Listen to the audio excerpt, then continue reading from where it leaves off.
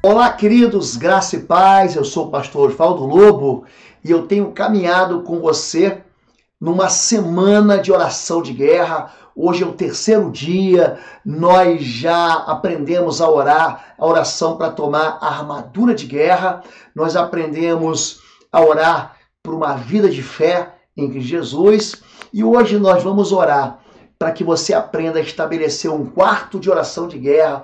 Pode ser uma sala de oração de guerra, pode ser um cantinho de oração de guerra, pode ser uma cadeira de oração de guerra, mas é seu local onde você vai guerrear na sua casa, no seu trabalho, no seu quarto, em qualquer lugar. Amanhã nós vamos ensinar você a orar pela sua própria casa e também na sexta-feira nós vamos ensinar você uma oração de guerra pela sua família.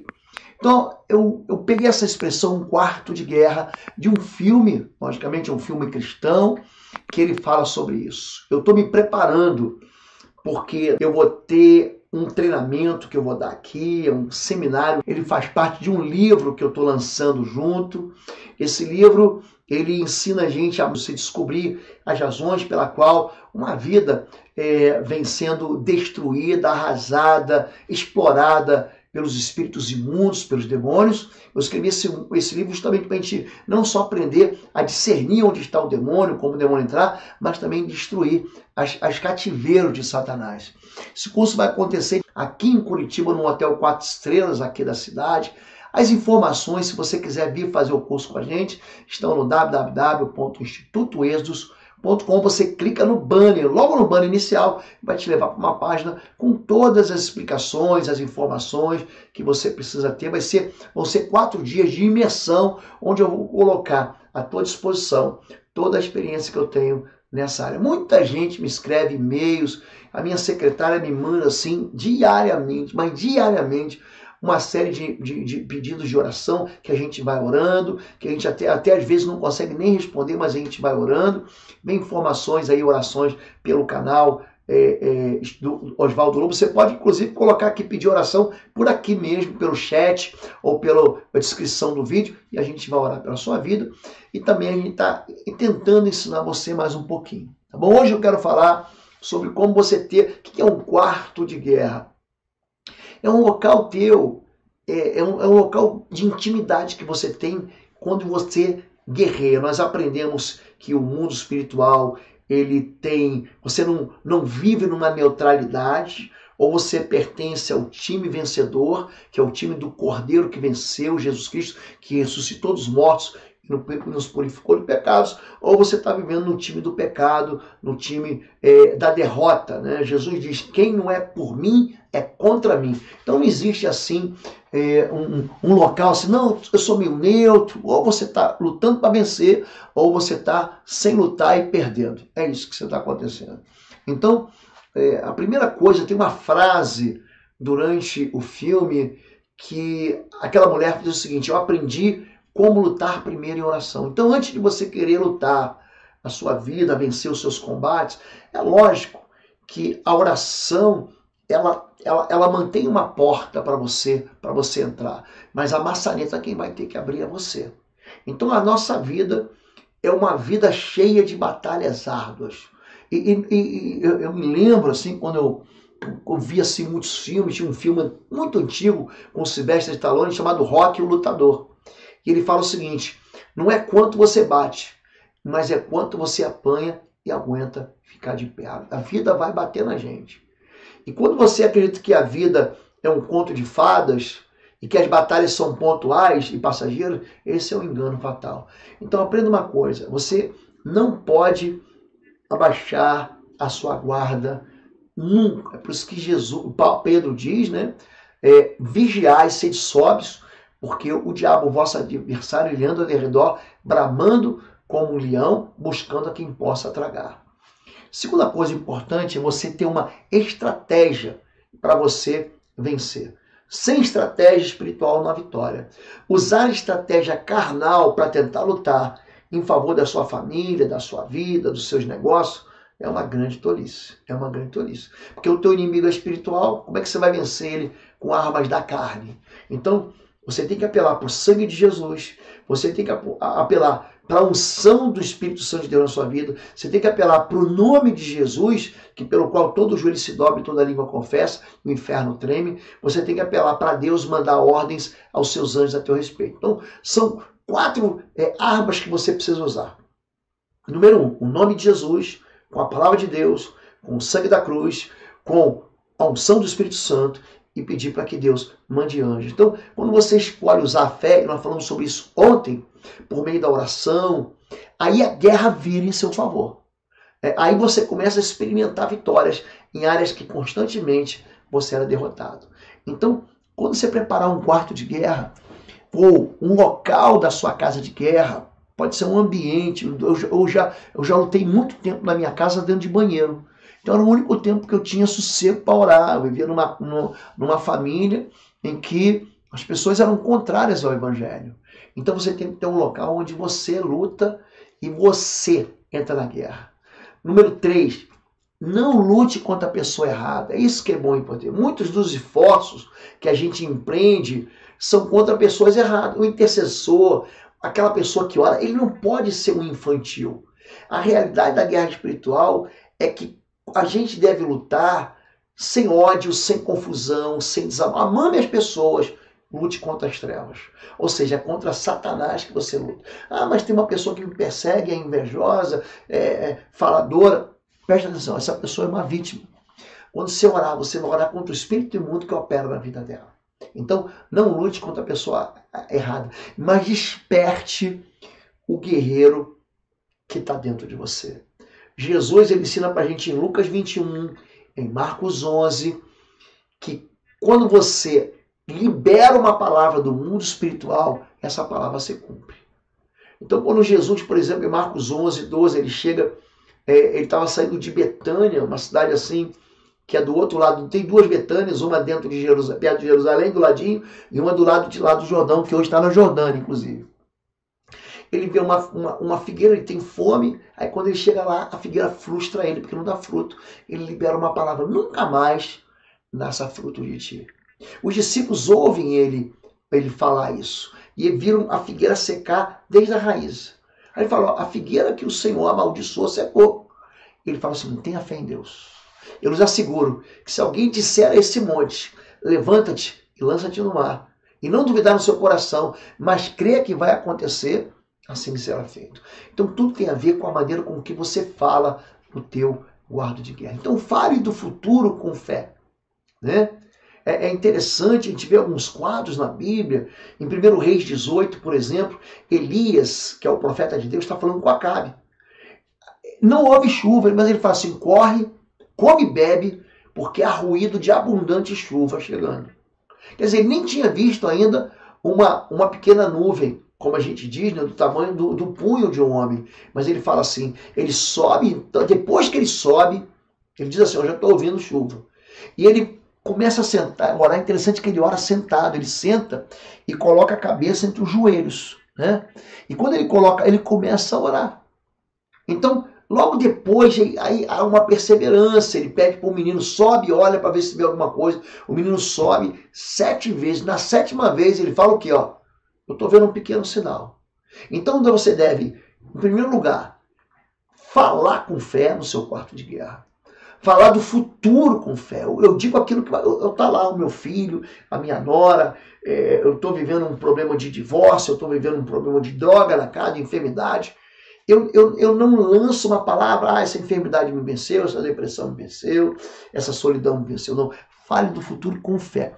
Vai, sobe e come, porque eu já estou ouvindo som de abundante chuva. Segundo lugar, busque a resposta em Deus. Suba, ele subiu para o monte Carmelo foi orar. E quando ele vai buscar a resposta em Deus, a resposta não vem na primeira oração. Ele ora uma vez, duas vezes, três vezes, quatro vezes, cinco vezes, seis vezes, sete vezes. Nós estamos aqui durante cinco dias ensinando você a orar, a oração de guerra. E ele vai lá. Que acontece? No final vem um pequeno sinal. Olha, estou vendo uma nuvenzinha desse tamanho aqui. Então você deve crer. Quando você começa a orar em pequenos sinais. Eu vou ensinar uma coisa para você. Quando você faz oração de guerra, as coisas perto de você não melhoram, não elas têm uma aparência de que pioram. Mas preste atenção porque acontece. Porque o mundo espiritual começa a dar piti. Quando você começa a orar, o que você faz? Você atrai o poder de Deus, você atrai a unção de Deus, você atrai a mão de Deus, você atrai o favor de Deus, você atrai um Deus que é chamado de Jeová Sabaote. Deus ele tem o nome de Senhor dos Exércitos. Então Deus ele começa a dar ordem aos anjos. Jesus diz: Olha, o meu reino desse mundo, se fosse, eu pediria, meu pai me enviaria 12 legiões de anjos. Pensa em 12 legiões de anjos. Isso significa que tem, você teria teu favor aí, pelo menos, pelo menos 122 mil anjos aí lutando por você. Então, você deve entender, quando você vê um pequeno santo, ah, pastor, comecei a orar, tive um problema, comecei a orar, aí que o negócio ficou ruim, meu marido saiu de casa, minha esposa brigou, meu filho enlouqueceu. Então, entenda, a oração está funcionando. Porque o mundo espiritual está gritando, ele, ele começa a reagir e dizer o seguinte: é, é, é aí que o pessoal confunde isso com retaliação. Isso não é retaliação. Preste atenção nisso. Isso significa que a tua oração está chegando no céu e está atraindo a mão de Deus em teu favor. Então creia nos pequenos sinais e confie que Deus já operou. Então ele fala o seguinte: olha, quando ele ouve a sétima vez, ele disse: ó, levanta-se uma nuvem ele fala o seguinte, ele desce e fala assim pro rei Acabe, aparelha o teu cavalo, o teu carro e desce para que a chuva não te acompanhe. É isso que você tem que entender. O quarto de guerra é um local de fé. O quarto lugar é um lugar de profecia. A tua boca ela profetiza isso. Porque ainda que a figueira não floresça, nem haja fruto na vide, ainda que decepcione o, o produto da, da, oliveira, os campos não produzam mantimento, e da malhada as ovelhas sejam, sejam arrebatadas, nos corrais não há jogado, ainda assim, todavia, eu me alegrei no Senhor e exultarei no Deus da minha salvação. Abacuque 3, de 16 a 19, fala que a gente deve usar essa fé do quarto de guerra como um grão. Como um grão. Lembre-se disso. Você é aquele que Deus busca. Eu busquei dentre eles um homem, uma mulher, que estivesse tapando o muro, que estivesse na brecha em favor dessa terra. Você é aquela pessoa que vai vencer no quarto de guerra. Amém? Quero te ensinar a orar agora. Eu quero que você aprenda a orar comigo. Eu quero pedir para você repetir a oração que eu estou fazendo e você comece a estabelecer na tua casa. Vai para um local, para um sofazinho, para uma cadeira, para uma varanda, para a tua própria cama. Vai até para dentro do banheiro, vai para dentro do teu carro, espera para orar, mas você não pode deixar de orar. Começa a orar. Você deve orar com a voz audível. Você deve lançar essa palavra no mundo espiritual. Lembre disso. Ainda que você ore baixinho, na Bíblia você não vai ver oração silenciosa nenhuma vez. Nenhuma vez. Então, ore. Quando você orar a Deus, você ora no secreto, ou seja, tranca um quarto. Se você entra no teu quarto, né? No filme Quarto de Guerra, na verdade a moça não tinha um quarto. O que, que era? Era um, um, uma espécie de um, de, um, de um armário que ficava debaixo de uma escada. Não sei se você viu o filme, é muito bom filme. Se eu não, se eu não me engano, ele está para você assistir na Netflix. Se eu não me engano, tá bom na Netflix. Você vai lá, então você encontra um lugar teu que você pode orar. Sim, então sai de fora de casa e vai para um lugar que é teu. Eu cansei de orar, sabe como? Andando em volta da minha casa. Cansei de orar assim. Pegava e caminhava na rua, tá bem? Fala, povo lindo do Senhor. Você que tem crescido e sido edificado aqui no nosso canal do YouTube, através das mensagens, através das orações. Quero chamar você para visitar o nosso site www.pastorlobo.com. Lá você vai ter a nossa loja virtual com cursos e também com livros que vão edificar profundamente a sua vida na guerra espiritual. Vai lá, vai ser uma benção. Então diga assim: Senhor meu Deus, meu Pai, eu Oro em nome do teu filho Jesus. Eu sei que o Senhor já fez uma grande provisão na minha vida. Eu posso viver cheio do teu Espírito Santo, cheio do fruto do teu Espírito Santo, cheio do amor, da alegria, da paz, da benignidade, da bondade, da mansidão, do domínio próprio. Eu posso viver cheio de saúde, do autocontrole em todos os momentos da minha vida. Eu confesso aqui que o teu filho Jesus é meu Senhor e meu Salvador. Eu confesso que a tua vontade para minha vida é boa, perfeita e agradável. Eu confesso que eu já estou com a armadura do Senhor, nenhum mal pode me tocar, nenhuma seta do inferno pode chegar até mim. Eu estabeleço teu trono aqui onde eu estou.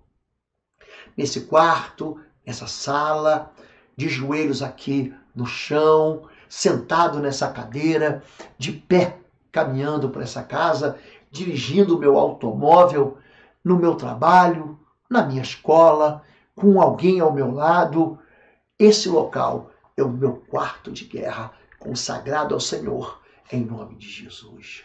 Por isso eu rejeito e resisto a todas as tentativas de Satanás e seus demônios de me roubarem esse tempo de oração com o Senhor. Eu me recuso nesse momento a crer nos meus sentimentos ruins, em, emo em emoções ruins. Por isso eu levanto o escudo da fé contra qualquer voz, acusação, difamação, calúnia que Satanás tente lançar em minha mente. Eu costuro a boca dos demônios agora. Eu lanço fogo do Senhor sobre toda a voz maligna e toda tentativa maligna nesse momento de oração. Nesse momento, nesse lugar de guerra, eu reclamo sobre a minha vida o sangue da cruz, a plenitude da vontade de Deus em nome de Jesus Cristo. Nesse momento e nesse local, eu me submeto completamente a Ti, Senhor meu Deus e meu Pai Celestial. Eu me submeto como um sacrifício vivo e agradável. Eu faço nesse momento a escolha de que esse local seja um local de transformação, da renovação da minha mente. Eu peço que aqui eu conheça a tua palavra, o Senhor me mostre a tua vontade e me capacite a andar em vitória, em, toda a plenitude da tua vontade para os meus dias. Eu te agradeço, meu Deus, porque o Senhor me dá acesso a esse tempo de oração e porque as armas do meu conflito, da minha guerra, da minha luta, da minha milícia não são carnais, mas poderosas no Senhor Deus, para através do Senhor Deus derrubar todas as fortalezas, desfazer argumentos, retirar a altivez, o orgulho de todo pensamento que se levanta contra a tua palavra. Eu entrego meu coração, minha alma, meu espírito, tudo que eu tenho, cativos em obediência. Eu quero que a minha boca, nesse quarto de guerra, profetize palavra de salvação. Nesse tempo de quarto de guerra, profetize vida eterna em obediência a Jesus Cristo, em nome de Jesus. Eu quero, em nome de Jesus, derrubar, Senhor Deus, eu derrubo e eu peço que o Senhor mesmo derrube em minha própria vida todas as fortalezas de Satanás contra a minha mente, porque eu submeto a minha mente completamente ao Senhor, meu Deus. Eu submeto a minha mente aos pensamentos do Espírito Santo de Deus. Eu afirmo que nesse local, no quarto de guerra, o Senhor, que é meu Pai Celestial, vai me conceder a presença do Teu Espírito Santo, um espírito de temor. Então, em nome de Jesus, eu mantenho a minha mente ligada ao teu trono, ligada à tua palavra. Eu derrubo em nome de Jesus, eu esmago em nome de Jesus é, é toda a fortaleza que Satanás levantou contra sentimentos e emoções. Aqui nesse local, eu vou estar livre de todos os sentimentos perniciosos em nome de Jesus e no poder do Espírito Santo. Eu quero me colocar à disposição para Deus. Eu quero a minha vontade, seja a vontade do Senhor, em nome de Jesus. Eu quero fazer escolhas nesse quarto de guerra, tomar atitudes e decisões de um novo homem, de uma nova criatura, decisões de fé, não que sejam convenientes a mim, mas que sejam convenientes ao Senhor. Eu aqui nesse quarto, eu vou esmagar toda a fortaleza satânica da inveja, das calúnias, das difamações, das maledicências, de, de pessoas usadas por Satanás contra a minha vida. Eu vou tornar tudo isso anulado, cancelado, sem nenhum efeito. Todas as palavras malditas contra a minha vida tornam-se agora sem efeito. Todos os termos de qualquer contrato espiritual contra a minha vida estão quebrados. Toda obra de feitiço, de magia negra, de magia branca, de macumbaria, toda, todo o trabalho enterrado, todo o trabalho é, é, lançado na praia, no terreiro, todo o trabalho contra a minha vida não tem nenhum valor, são desfeitos em nome de Jesus. A minha vida está protegida. Diga assim, em nome de Jesus, eu estou aqui lavado no sangue do Cordeiro. Minha vida está resguardada, liberta, sustentada pelo Espírito Santo de Deus. Nenhuma palavra contrária, nenhuma sentença de maldição tem efeito na minha vida enquanto eu estiver aqui orando e me revestindo do Senhor nesse quarto de guerra. E é daqui que sai a fortaleza da presença do Senhor, dessa intimidade que eu tenho com meu Deus, em nome de Jesus. Eu esmago, eu anulo e eu cancelo toda essa sentença de praga sobre a minha vida e sobre qualquer área da minha vida. Eu, em nome de Jesus, eu elimino qualquer meio de feitiço, encantamento com fogo consumidor do Senhor dos Exércitos. Eu destruo completamente todas as obras das trevas, todo o trabalho espiritual do mal contra a minha vida, contra a minha família, em nome de Jesus. Eu esmago essas fortalezas, essas contaminações. Eu aqui quebro toda a reação furiosa do inimigo, eu torno tudo isso anulado, sem nenhum efeito. Eu declaro que aqui nesse quarto de guerra, eu vou liberar palavras sobre a minha própria vida, sobre o meu futuro. Eu vou liberar palavras sobre a minha família, sobre a família que eu vou ter, para a família que eu tenho. Eu vou trazer de volta os desviados.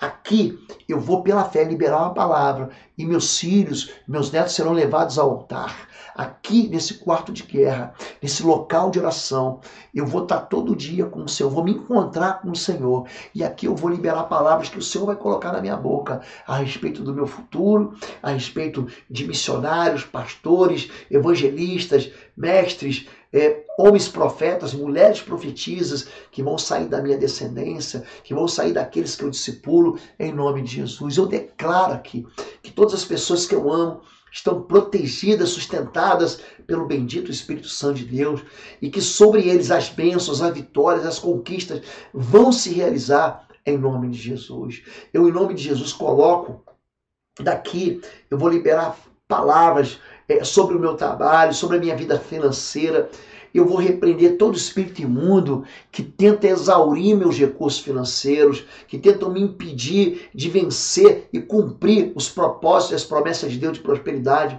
para a minha vida. Eu impedir a, a minha vida de investir no reino de Deus nessa terra em nome de Jesus. Eu ordeno agora que todo gafanhoto, todo devorador de finanças, todo cortador estão impedidos de agir na minha vida financeira em nome de Jesus. Aqui eu vou profetizar a abundância do Senhor na minha vida.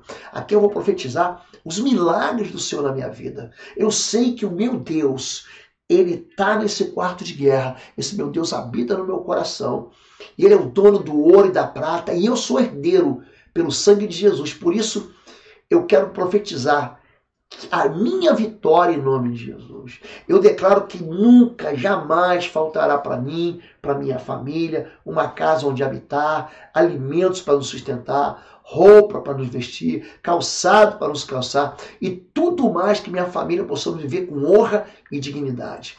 Eu declaro que a minha vida profissional, ministerial está liberada, está desconectada de todo travamento, de toda maldição. A partir de agora, todas as bênçãos profissionais e ministeriais chegam para mim em nome de Jesus. Eu quero aqui esmagar mais uma vez as fortalezas que as trevas armaram contra o meu corpo, reconhecendo que eu sou templo do Espírito Santo de Deus, eu sou cheio da alegria do Senhor, eu quero me alegrar pela misericórdia de Deus, pela bondade de Deus comigo. Eu não aceito em minha vida nenhuma doença, nenhuma enfermidade de ordem física, nem emocional, nem espiritual, em nome de Jesus. Eu quero nesse tempo de oração no meu quarto de guerra. Esse aqui é o meu quarto de guerra. Eu peço que, através desse momento, o Senhor me vivifique por completo. Que o Senhor me mostre áreas, por exemplo, que o inimigo está me tentando, está me impedindo, está mentindo, está enganando, está iludindo, está dissimulando, está distorcendo a tua vontade, a tua verdade na minha vida. Senhor Deus, aqui nesse quarto de guerra, eu preciso da verdade. Eu preciso que o Senhor me dê forças. Eu preciso que o Senhor me dê sabedoria. Eu preciso que o Senhor me dê estratégias. Eu preciso que o Senhor me dê ações para desbaratar todos os planos das trevas contra a minha vida, a minha família e tudo que leva o meu nome. Eu peço isso em nome de Jesus. Que o Senhor me capacite aqui nesse local. Para que a minha vida seja agradável ao Senhor. Para que eu possa orar ao Senhor com ousadia. Me capaciva, capacite mentalmente para ousado tanto nos meus comportamentos quanto nos meus pensamentos e atitudes, para que eu tenha forças e fé para repelir o ataque das trevas. para que eu possa pensar os teus pensamentos, aquilo que vai de acordo com a tua palavra que eu quero te dar um lugar de honra na minha vida. Aqui eu quero me encontrar contigo todos os dias. Que as minhas ações diárias, meus pensamentos, minhas palavras, meus sentimentos, minhas atitudes correspondam a tudo que o Senhor sonhou para mim, Pai, em nome de Jesus. Eu quero me cobrir, mais uma vez, com o sangue de Jesus Cristo. Orar, Senhor Deus, agora colocar assim sobre os umbrais desse quarto de guerra o teu sangue, o sangue do teu filho Jesus, para que a obra de Cristo na minha vida é, seja completa, Senhor Deus. Aqui o Senhor vai me encher do Espírito Santo. Aqui o Senhor vai me dar poder para vencer a treva. E aqui, as trevas. E aqui eu vou me submeter a Ti. Eu vou me recusar a ser desencorajado pelo mal. Eu quero, em nome de Jesus, vencer a tristeza, toda a depressão, todo desânimo, todo abatimento e viver em fé em nome de Jesus. Porque o Senhor é o meu Deus, é o Deus de toda a minha esperança e fidelidade. É o Senhor Deus a honra, a glória, o louvor, o poder, o domínio, a majestade, por todo sempre, pelos séculos e séculos. Amém. Amém e amém. Foi uma bênção estar com você hoje de manhã cedo. E amanhã nós estaremos de novo junto. Eu quero ensinar você a orar pela tua casa. Hoje você estabeleceu o trono de Deus no quarto de guerra. Amanhã você vai orar pela tua casa. Eu vou te ensinar a orar pela tua casa. Amém? Eu te espero aqui em Curitiba, se você vier para o curso, não perca isso, faça o esforço para estar conosco. Nós vamos aprender a discernir espiritualmente e você aprender a mapear fortaleza e destruir, destruir fortaleza. Se você quiser participar com a gente, digita aí no seu site www.institutoexodus.com, clica no banner e você vai ter todas as informações. Se você quiser comprar os nossos livros, também estão no mesmo site www institutoexodo.com vão te abençoar. E se você quiser fazer os nossos cursos de libertação e batalha espiritual, os cursos tem todos eles 40 horas de duração. São 40 horas. Você não tem nada parecido. Tem curso que eu trato de libertação, que é o sangue nos.